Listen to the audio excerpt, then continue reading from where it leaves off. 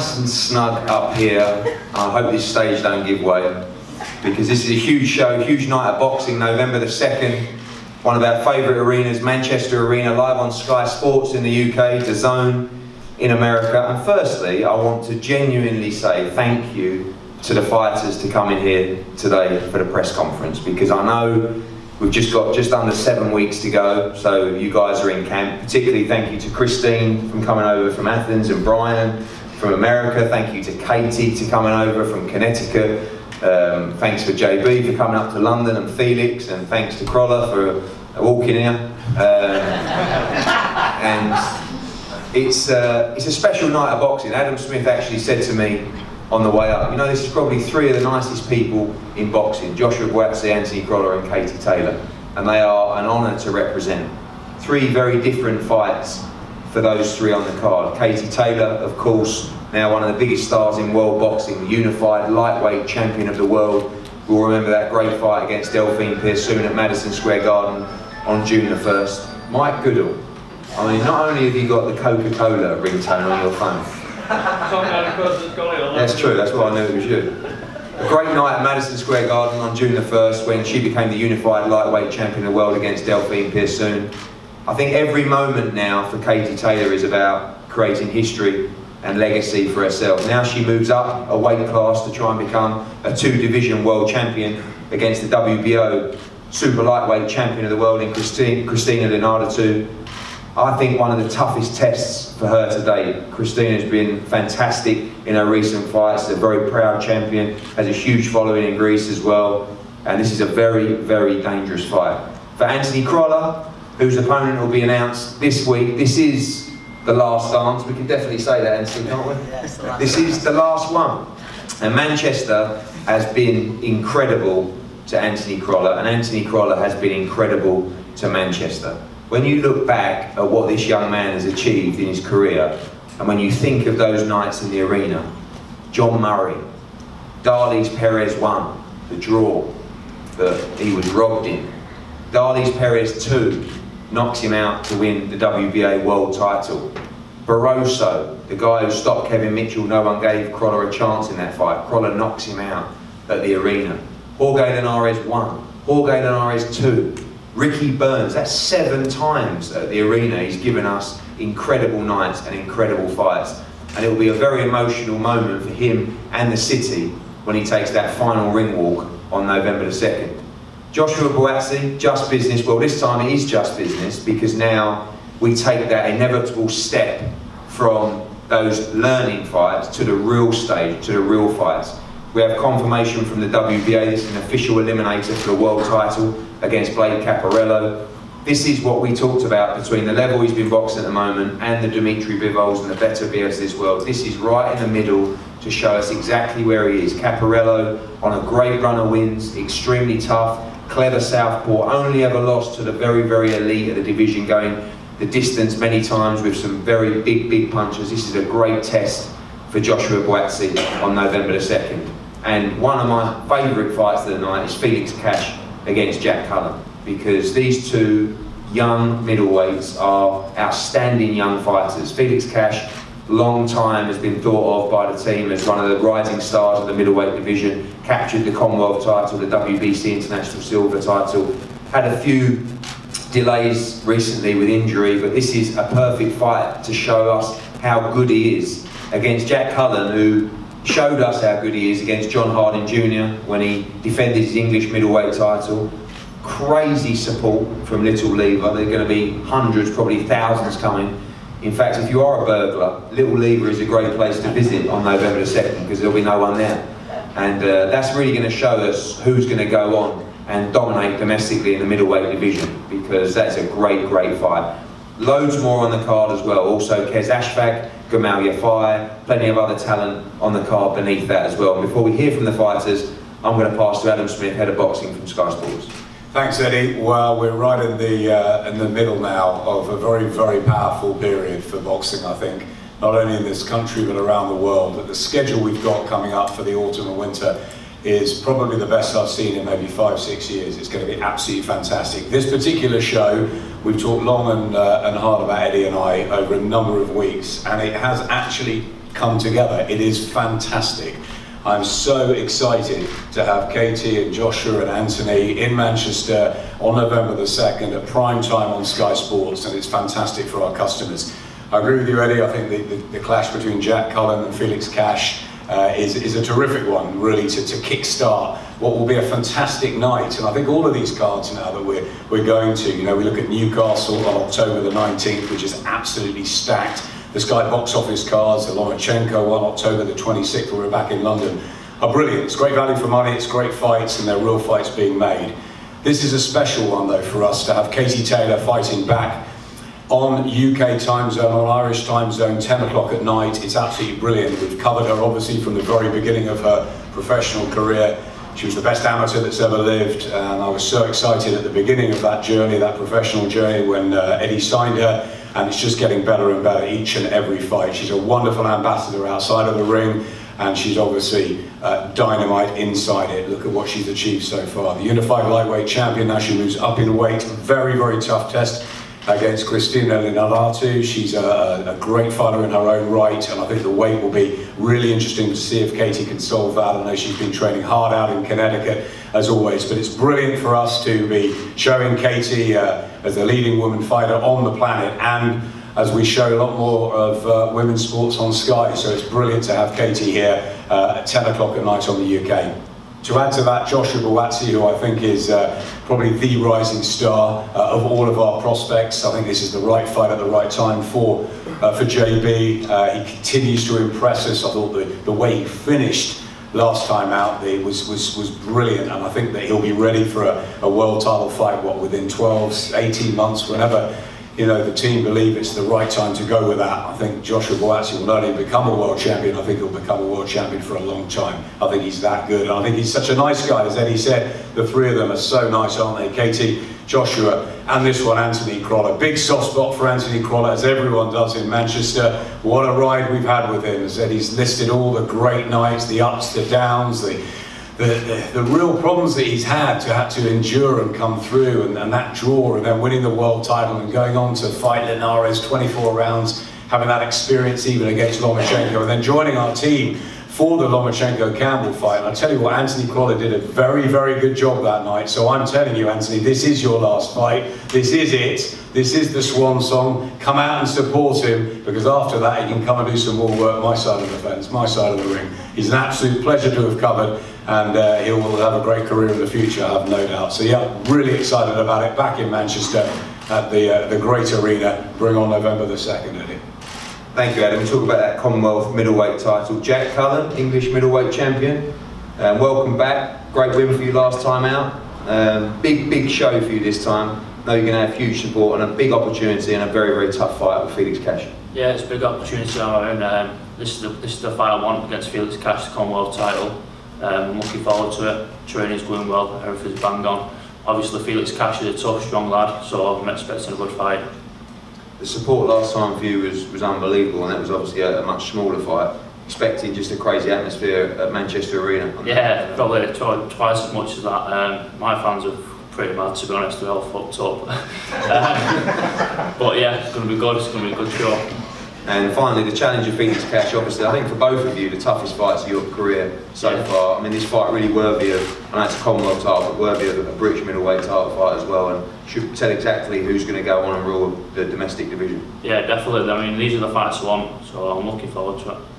Felix, been a little bit of a frustrating period, but straight into a big fight for you. I know you want to get out there and start stamping your footprint on the division, and a big fight for you to do so.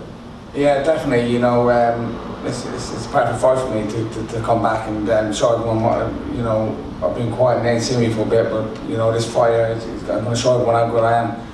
Um, you know, he's tall, he's, he's, he's awkward, but I do believe, you know, he, he, he's never been in with a man like me. And, you know, a fight like me in, in, my, in my, my caliber, you know, um, no disrespect to him, he's been trim before. Um, so, you know, I'm, I'm planning on doing the same again. So, you know, he's, he's a decent fighter, but, you know, there's level of boxing and, and I believe I'm at a level above him. How much motivation is it at gym game every day now? You know, you've got a real fight. You're going to almost away territory. Really, you're going to have a lot of support there. To give you that extra spring in the step, knowing that things are getting real now.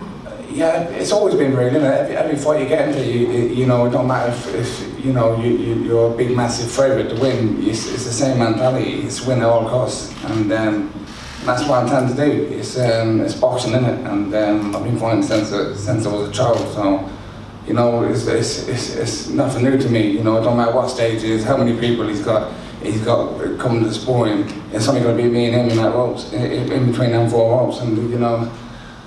I'm, I'm, I'm gonna, um, I'm gonna show them that, you know, there's levels. Thanks, Felix Jack, Commonwealth middleweight title.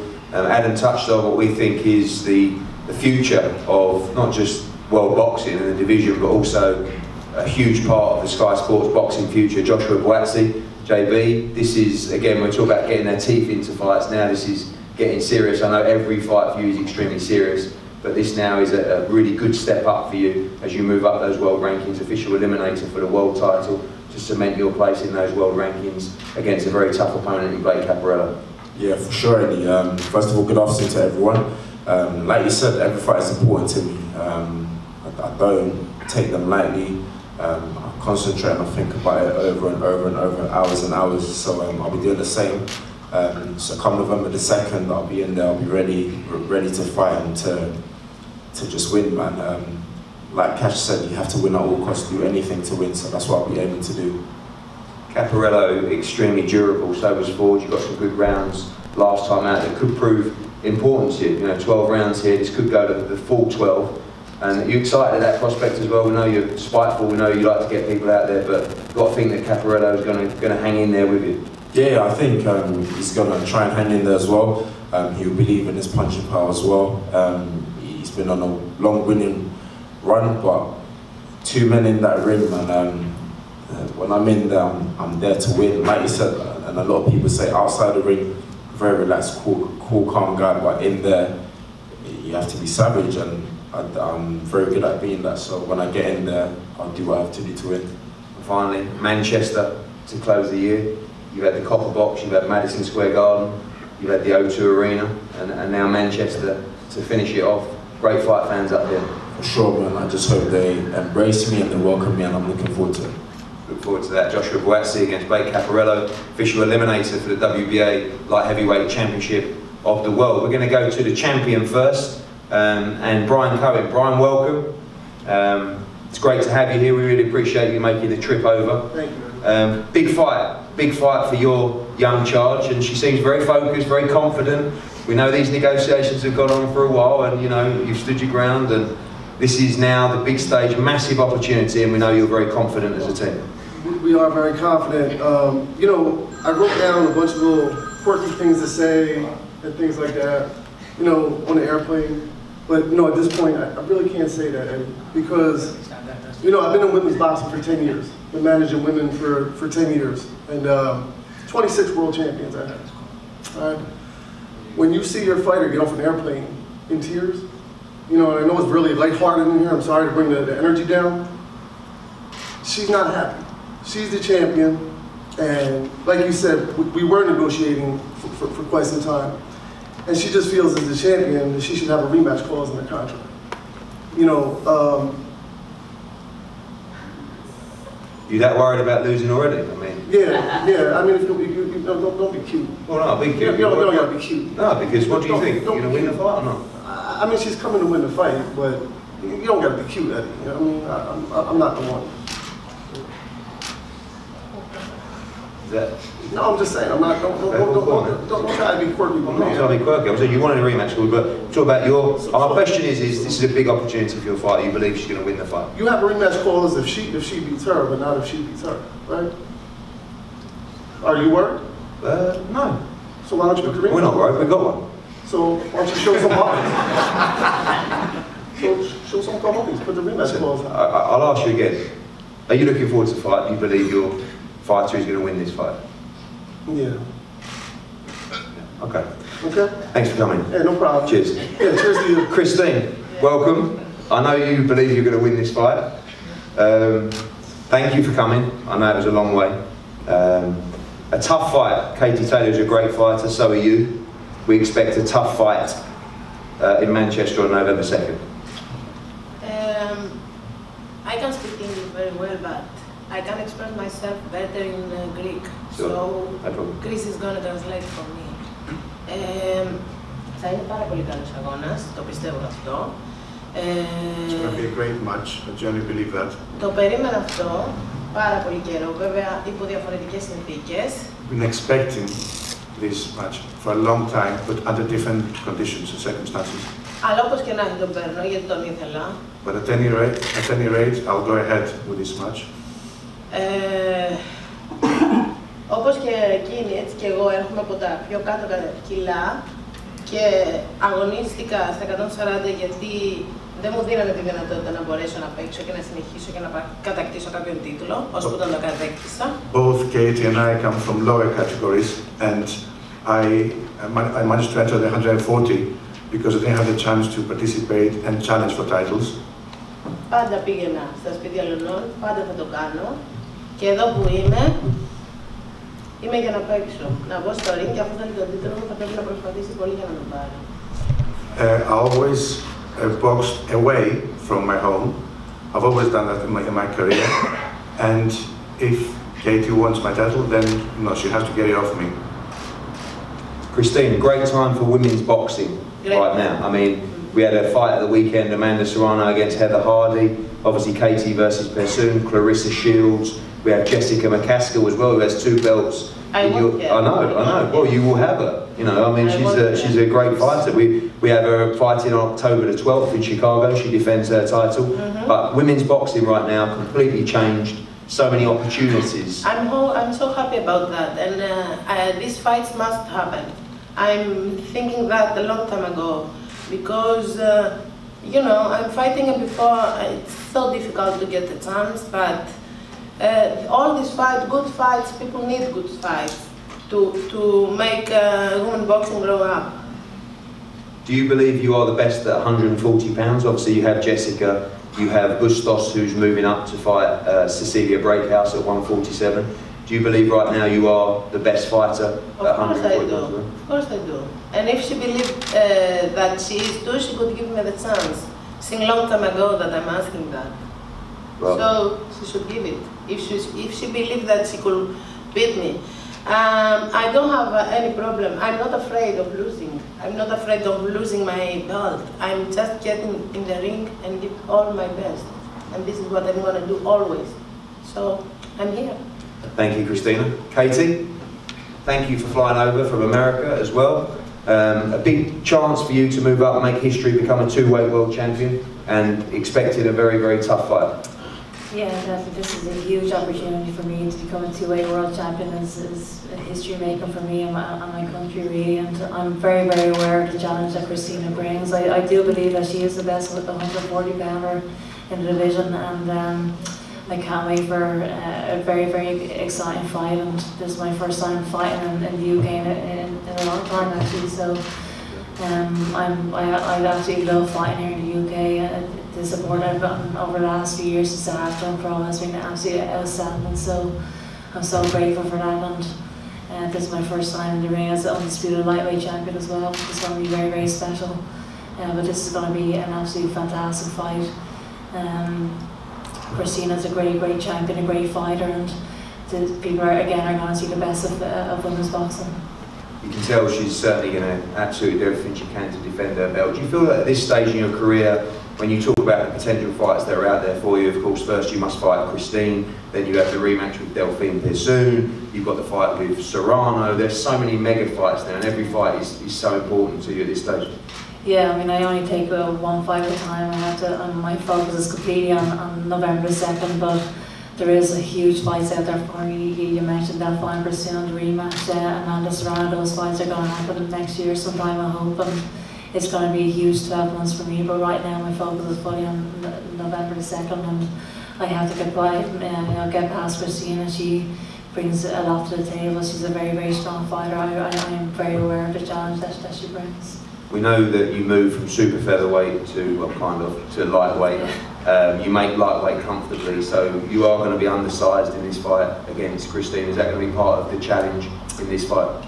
Yeah, it definitely it brings a, a new challenge moving up in weight. Um, I, I walk around at maybe 140 pounds, so it's it's gonna be I'm just gonna step on the scales and um, but I have been working very very hard gym over these last few months. Um, with my, my, my coach Ross, I feel like I'm getting um, stronger each time, and I feel like on November the second you'll see the best of me. Thank you, Katie. We look forward to a brilliant women's like welterweight world championship. Champion Christine Linardatou against Katie Taylor, unified lightweight world champion as well on a huge card. Anthony Crolla, Joshua Buatsi, Felix Cash as well against Jack Cullen, Gamal Yafai, Qais Ashfaq. Plenty more to be announced as well. We're going to have head to head um, with Katie and Christine now and also Jack and Felix.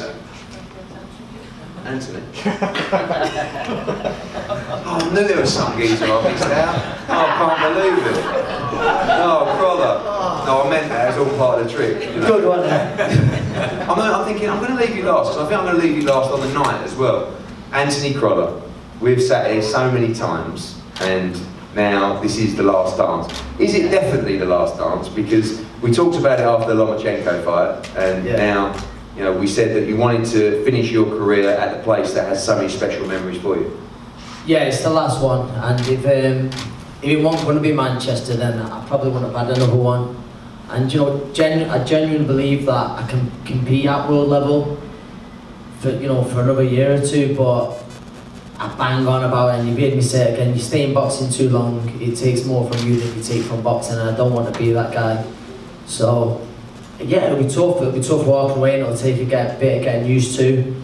But um, I'll, I'll stay involved in the sport and you know deal with it the best I can. But um, now I'm just buzzing to be back in the gym, the team. You know, really missed that. I've, always been ticking over, even though, like I say, I enjoyed myself over the summer. I was still doing little bits in the gym. So in a way, the break might have done me good. And um, November the second, yeah. So back to where it all started and the arena. That's you know got so many special memories for me.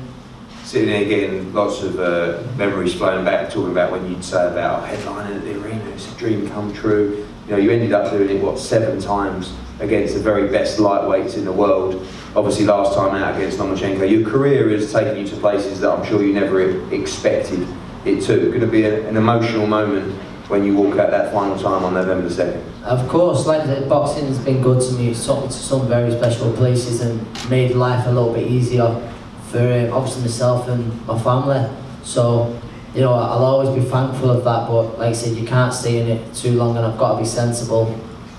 Um, yeah, on the night it could it could be emotional, but I can't I can't fight on emotions. You know, when I'm telling the kid in the gym, you can never fight on emotions. So I certainly can't do it myself, and I've just got to go out there, do a job. I want to get emotional, get emotional after it or something like that. I don't know, but um, when I'm in the changing rooms, but don't.